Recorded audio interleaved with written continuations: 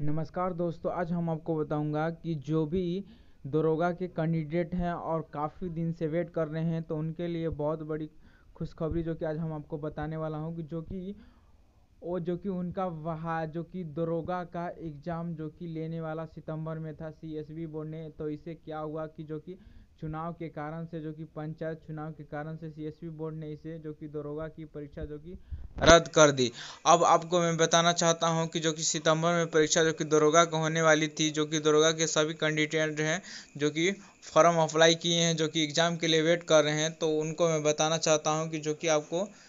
परीक्षा अब रद्द कर दिया गया अब आपको जो कि अगले महीने में लिया जाएगा जो कि अब आपको सितंबर में परीक्षा नहीं लिया जाएगा क्योंकि सितंबर में आपको चुनाव पड़ जाती है और चुनाव के कारण से इसलिए परीक्षा रद्द किया गया है कि सभी जो कि कर्मचारी जो कि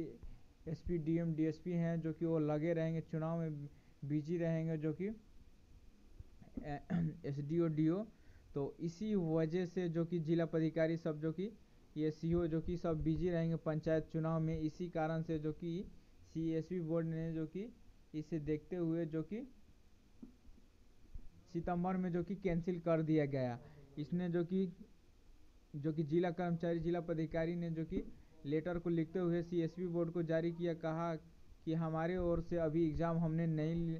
हम लिए, लेंगे क्योंकि हम चुनाव में व्यस्त रहेंगे। इस कारण से जो कि बहाली को आपको कैंसिल करना होगा। तो सीएसबी बोर्ड ने इसे देखते हुए जो कि कैंसिल कर दिया गया। अब इसका डेट निर्धारित कब से किया गया है, जो भी, जो कि मतलब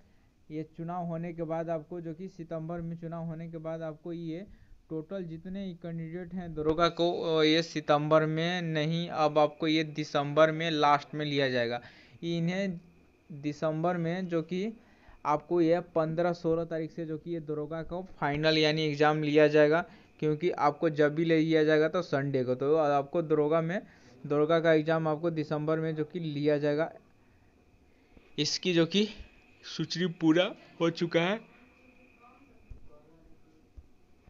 तो जिस दरोगा ने कैंडिडेट वेट कर रहे हैं तो उनके लिए मैं बताना चाहता हूँ कि आप और आपका ये एग्ज़ाम जो कि दिसंबर में लिया जाएगा, तब तक आप अच्छे से तैयारी कीजिए, जो भी आपको पूरे